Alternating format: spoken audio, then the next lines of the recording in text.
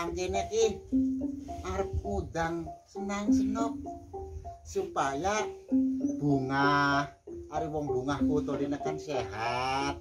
Orang dia beban pikiran toli mangane solot bisa lemu-lemu. Iya boleh iya rokna bapak watane arep ngudang senang. Iya boleh rokna kabibe iya boleh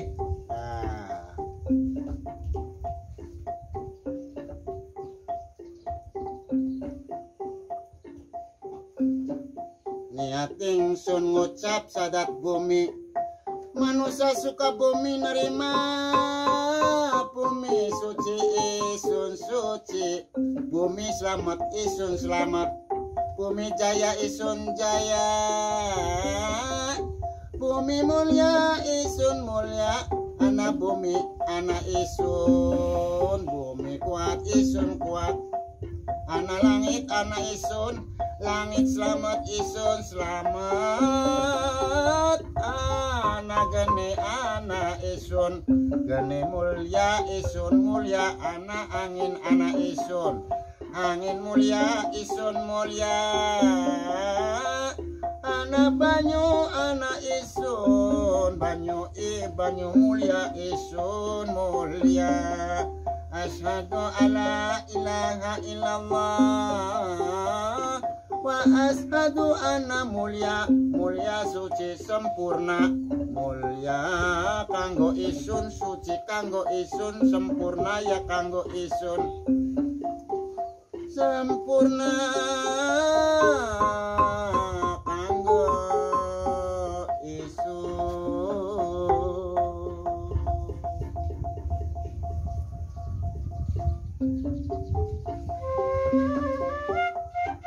akeh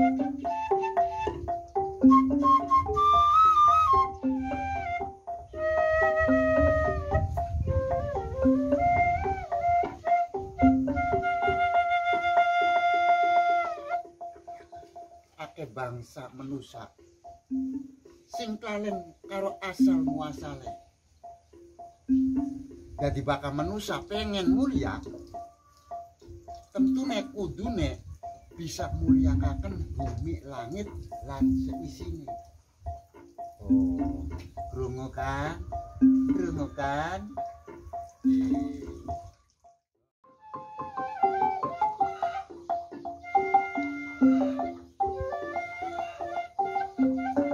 Saya Samsudin Dongeng Keliling beserta Bapak Wata dari Sanggar Gelora Muda Desa Tambi, Kecamatan Silegi Indramayu didampingi oleh Saudara Arif yang menabuh alat musik gambang. Kami bercerita kepada para sapi di sini. Kenapa kami bercerita kepada para sapi bukan pada manusia? Karena kami prihatin manusia lebih banyak tidak mau mendengar meskipun mereka punya telinga. Tidak berani bersuara ketika ada ketidakadilan meskipun mereka punya mulut. Mereka dikarenai otak bahkan tidak mau berpikir sehingga mau-mau saja menyebarkan hoax, menyebarkan kabar buruk, tidak mau menganalisa, tidak mau membaca keadaan. Mereka punya mata, tapi membutakan mata mereka sehingga tidak peduli dengan kerusakan alam. Sehingga kondisi negara makin carut marut, korupsi makin merajalela.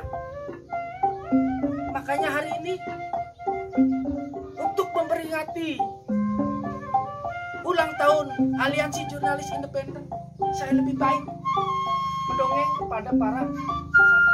Ya kan ya sapi ya?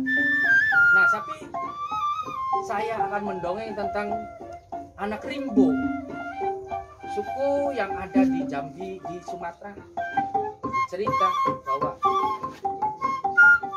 kita harus berani mengabarkan pada dunia agar mereka tahu, agar mereka memberi dukungan pada kita tanpa keberanian.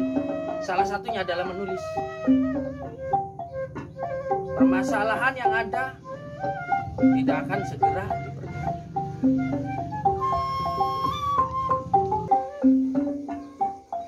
sapi, cerita ini dibuka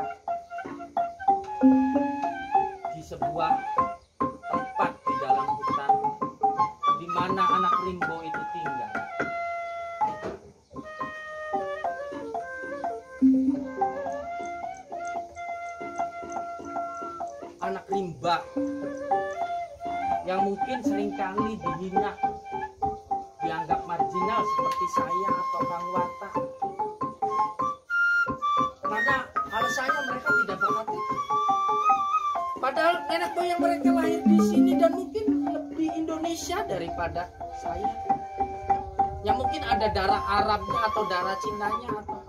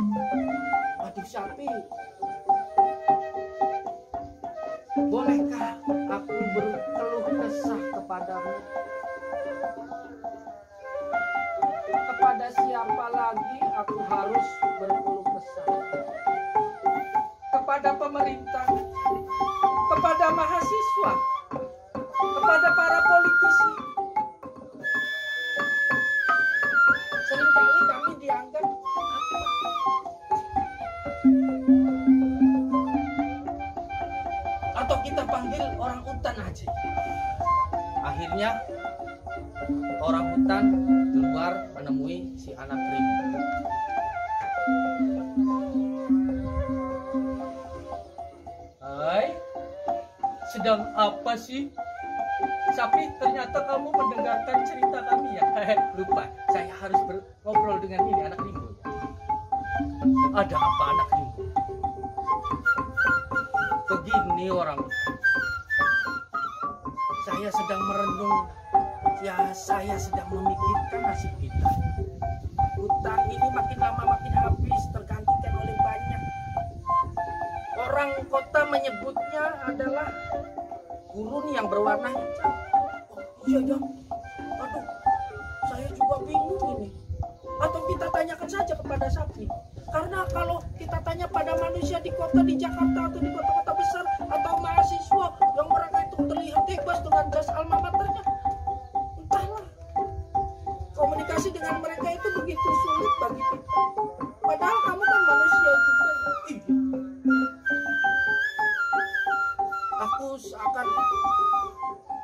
Terasingkan di negeri ini. Di negeri yang katanya gemaripah lojidang makin lama bangsaku makin sedikit anak rimbo. Begitu juga saya. Kami kami orang rimbo makin terdesak makin bingung. Seakan tidak ada lagi tempat buat kami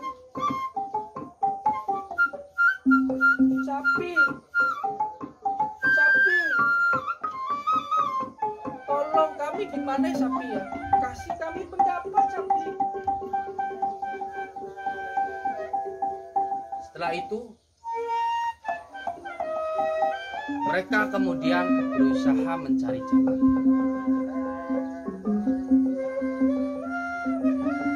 Dari lembah ke lembah, menggapai sebuah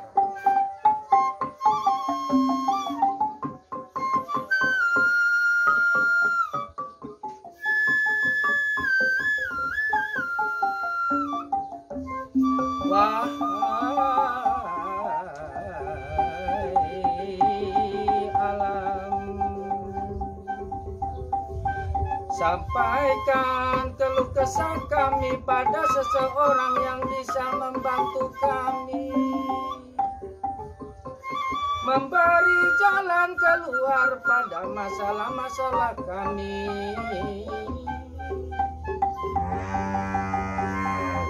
Oh, ada suara. Ternyata ada tanggapan. Tidak hanya manusia yang serangan bisa mereka tapi ternyata sapi pun kita melebarkan, menyebarkan energi positif pada alam semesta, maka alam semesta mengembalikan energi positif itu kepada kita. Seperti syair yang dibacakan Bapak Wata. Dan apakah doa-doa dari anak rimbo serta orang hutan ini kemudian dikabulkan? Nanti di bagian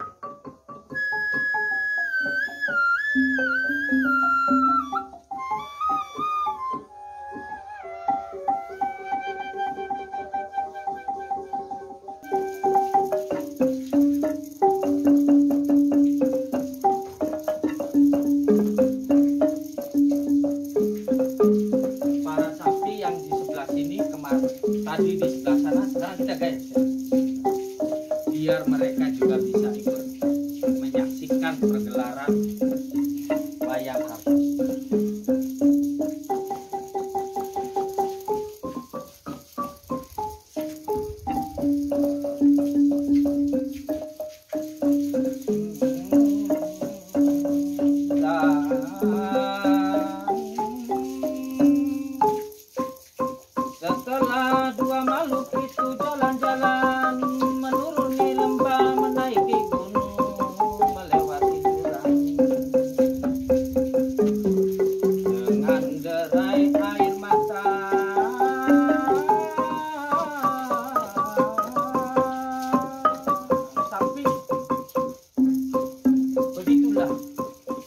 karena rajin berdoa sambil berusaha.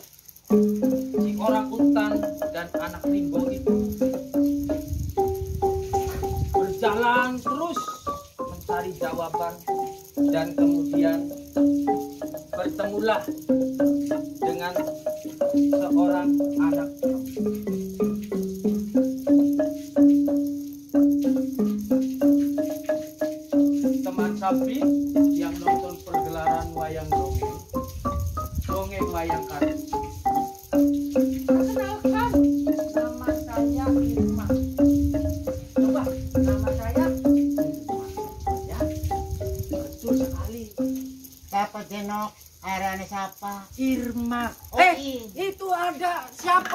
siapa ini? Halo. Nah, Kenalan dulu dong.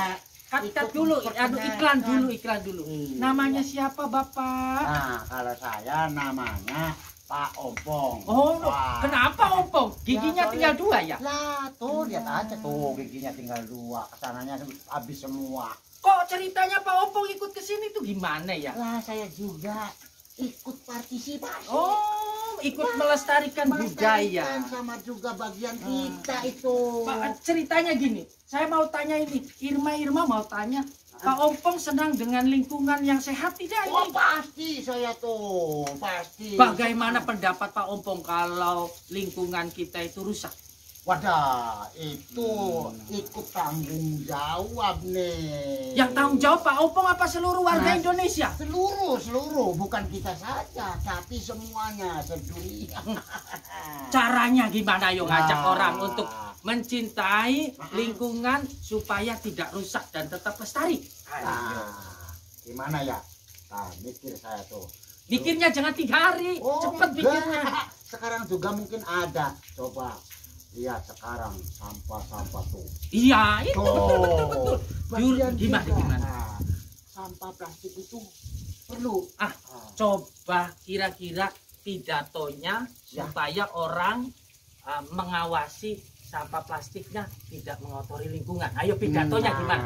Anggap saja Pak Opong ini sedang pencalonan Pak Lurah. Ayo, saudara-saudara sekalian sekalian saudara, sekalian sama neneknya enggak? Loh, Oh, kok ya kalau Oh. dengar neneknya. iya, iya, iya. Kalau tulis sih nggak apa-apa. Oke, masalah. lanjutkan lagi. Ah, khususnya untuk bagian anak-anak, tingkat dewasa dan orang remaja. Remaja. Nah, Yang sudah semuanya. meninggal, Wah, jangan. Iya, enggak Iya, usah. jangan. Oh, Iya. tak pikir orang meninggal juga bisa harus membersihkan. Waduh, bahaya kalau ikut sih. Ah. Terus nah, apa lagi?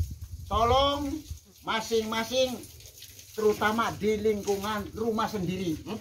Ah, ah, sampah-sampah plastik perlu ada tempatnya. Bagian plastik sendiri, Jangan dibuang sembarangan. jangan sembarangan. bagian kertas sendiri. Oh, ya. Iya. Bagian Bagian yang ada kalengnya dipisah Sendiri. sendiri. jadi intinya sampahnya itu harus Terbagi. dibagi-bagi. Dibagi-bagi. Terus supaya- habis dibagi dibuang di jalan. Lah ya jangan Oh. toh, ada tempatnya. Ah, dikumpulkan nanti ada yang perlu seperti apa ya perlunya saya kasihkan. Oh. Barangkali untuk eh, kerajinan Oh, barangkali. hmm. Seperti saya ini yang kan Nah. terbuat dari kardus bekas ternyata ya. cocok, Cocok sekali. Ah. Oh, ya. Sekarang pertanyaan selanjutnya tadi sudah latihan pidato. Sekarang mau tanya, Ah, Irma itu Ya. resah dengan hutan Indonesia yang berkurang loh. Waduh. Apalagi hutan di pinggir pantai mangrove itu kan penting supaya daratan tidak habis dimakan ombak. Waduh. Ah, Gimana ayo gimana? Pak, Pak Ompong sudah pernah melihat hutan mangrove di pinggir pantai belum? Wah, saya pernah. Mm-mm. Nah, Nah, itu tanggapannya gimana tanggapannya? itu perlu dijaga Mm-mm. dan perlu ditanami lagi. Ditanami gitu. terus. Iya. Bagaimana kalau orang-orang yang datang terus pengen berlibur ke pantai malah membuangi sampah tapi nggak pernah nanam mangrove? Waduh, ya tolong. Diusir apa diapain? Perlu dikasih. Oh, dikasih. Lah, Tak pikir diusir. Jangan dikasih ya. pelat. Artinya dikasih perhatian. Nah, pengertian ya. Pengertian maksudnya. Itu. Ya udah, Ah. kita lanjutkan lagi. Mau Oke. punya istirahat biar Istirahat. bapak watanya nabu gampang lagi sama Oh, nyuling lagi. sorry Bapak Wata. Iya, Siap. siap. Ah, saya akan lanjutkan. Oke, Bro. Siap. Oke. Dan tanpa sengaja si Irma ini bertemu dengan anak rimbo yang bersama dengan orang utan mencari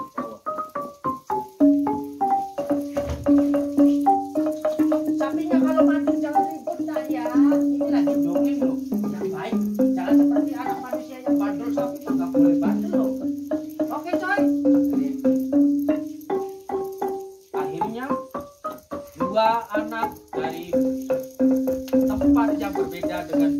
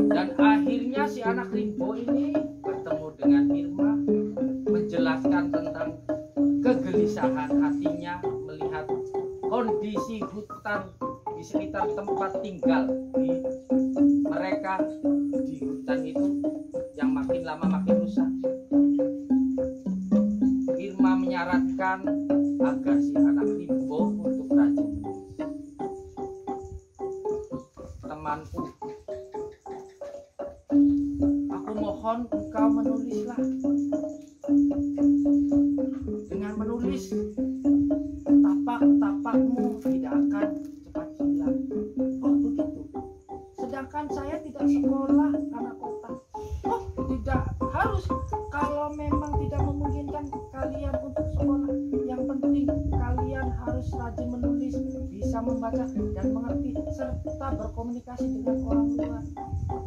Bagaimanapun itu penting agar orang luar tahu keadaan hutan capean itu seperti apa. Keadaan hutan kalian itu seperti apa. Wah, iya tuh. Sayangnya saya cuma orang hutan. Coba kalau saya manusia, ya betul. Ya, sapi ya, betul ya.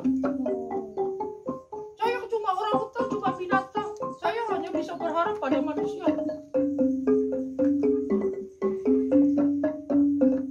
Seperti hanya Pak, tidak kakak-kakak yang jadi wartawan, om-om yang jadi tante-tante yang jadi wartawan.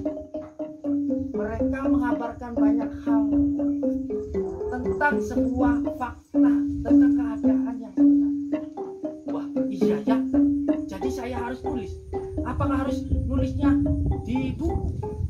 Hutan nyari toko buku kan susah. Nyari warung yang jual buku tulis susah.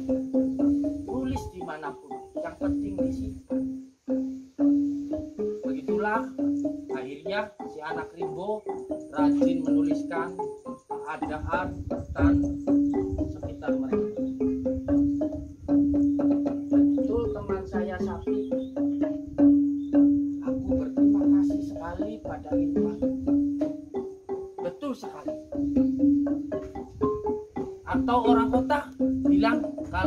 adalah jurnalisme masyarakat atau citizen journalism. Tidak perlu harus jadi wartawan. Yang penting datanya tidak masuk. Fakta keadaan yang sebenarnya. Dan saya berterima kasih kata si anak. Coba kalau abang-abang wartawan terutama wartawan yang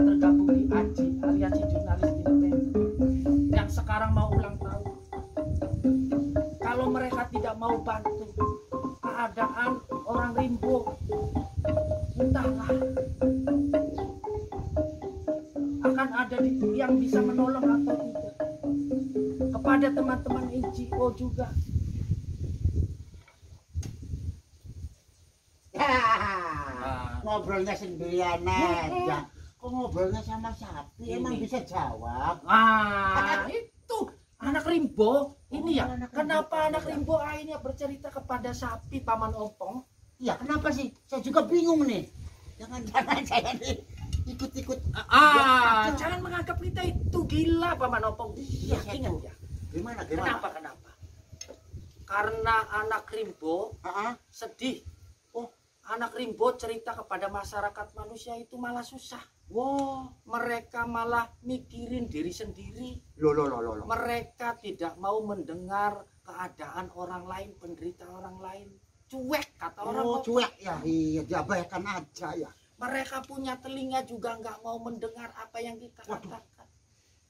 Jadi kalau kalau begitu daripada bingung-bingung, lebih baik saya cerita Ngobrolnya saja sama. sama sapi. Yo Allah. Aduh. Aduh, Coba, coba. gimana ya? Paman Ompong ngobrol sama sapi, kira-kira sapinya bisa jawab. Ayo, bisa nggak? Saya gak masuk akal ya. Kok bisa nggak coba? Akalnya dimasukin aja. Oh, nggak masuk akal. Akalnya dimasukin. Dimasukin aja. Oh, aja. gitu Betul kan? Ya sapi ya. ya. Iya. Coba ngomong ke salah satu teman sapi kita. Halo bro, halo. Kalau kamu perutnya empong, ingin makan nggak? Oh, tadi ada yang jawab. Yang sebelah sana. Yang ini diem malu. Aduh, masih masih baru ya. Belum punya pacar. Wah, kayaknya sih. Udah ada yang nyaut tuh. Oh, Iya, yang sebelah sana bagus katanya. Betul lapar. Iya. Kalau pagi masih tidur sampai jam 10 juga masih tidur ya. Mm-mm. Namanya aja hewan pemama biak. Harus banyak istirahat memama biak. Makanannya ya. Aduh. Ya sapi ya bener Pak. Saya itu pusing. Pusingnya? Ya tadi itu, untung ada Bapak Ompong sini. iya. Coba kalau tidak, saya berkeluh kesah sendiri seperti orang gila ngomong sendiri. Untung ada teman sapi yang mau mendengarkan Iya. cerita saya. Jadi curhat itu ada yang menadaya. Ya, semoga para sapi ini ikut mendengar dan mendoakan karena betul. mereka bagian dari alam semesta Bapak Ompong. Oh, gitu. Bagian dari alam semesta itu tidak cuma manusia. Eh, garuk-garuk aja yang sopan. Wah, sorry, sorry. Kita harus tahu bahwa kedudukan manusia itu tidak lebih penting daripada makhluk-makhluk yang lain. Betul.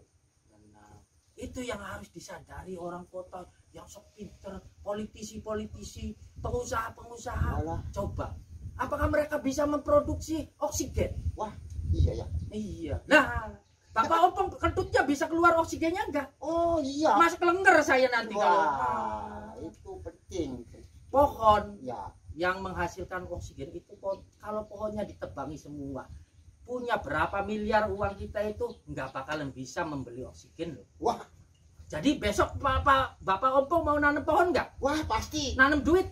Oh, nggak bisa. Ya, nggak bisa. Iya. Nanam pohon aja. Nanam pohon. Supaya apa? Lingkungan kita nah, sehat. Oh. Dapat oksigen gratis banyak. Gratis banyak, Kang. Bukan semua orang. Biarpun dikatakan Bapak Ompong gila karena nanam pohon nggak disuruh, nggak dibayar. Nggak apa-apa. Kita beramal itu nggak nggak harus dapat duit.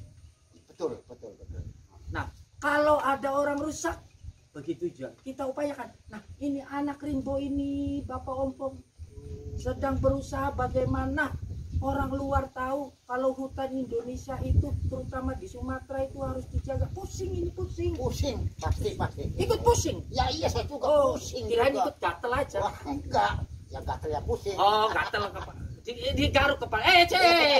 Jangan aduh, pantat saja digaruk-garuk di Iya, iya. depan umum. Kita harus jaga sikap. Oh, gitu ya. Nah, Nanti saya lanjutkan lagi. kata ah. Irba. Oh, dilanjutkan. Ah, bari. Sambil, Nah, duduk, duduk, sambil ah, nam. duduk, sambil. Coba dong sulingnya Ah, dong. Tadi iya, nggak belum tinggal dikenalkan suling. suling.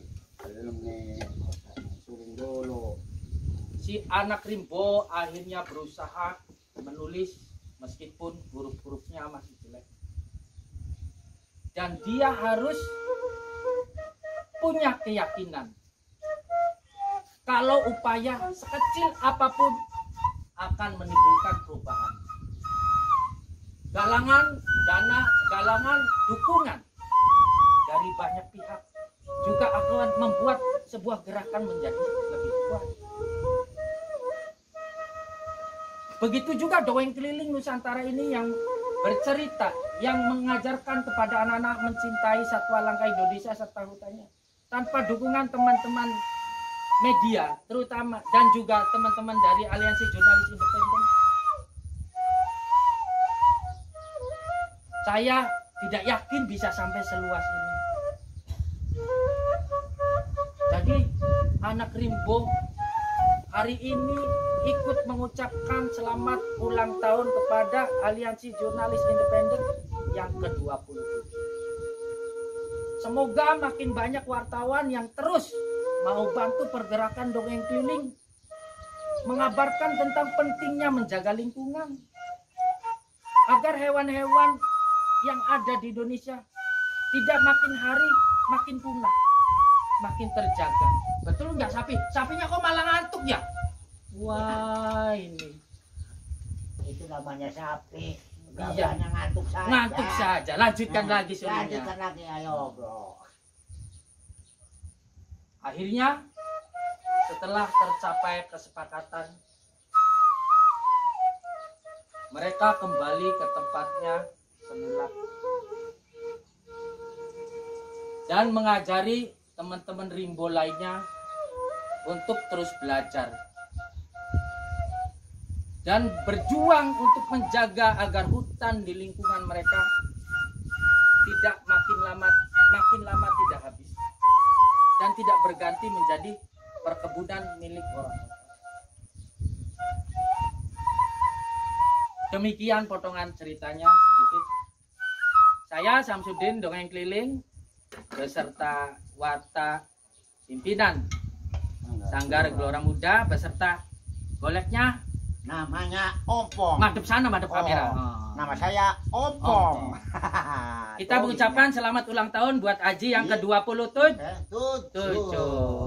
Semoga Aji tetap membantu masyarakat kecil, masyarakat marginal, mengupayakan kelestarian alam, budaya yang juga dilakukan oleh Bapak Wata ini, terus eh, pendidikan yang menyeluruh, yang merata di seluruh Indonesia, agar Indonesia makin makin maju.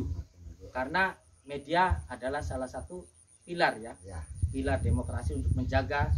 Tetaplah kritis tetap bersama kami rakyat kecil bersama lingkungan yang sehat bersama satwa langka selamat ulang tahun Aji yang ke-20 Yang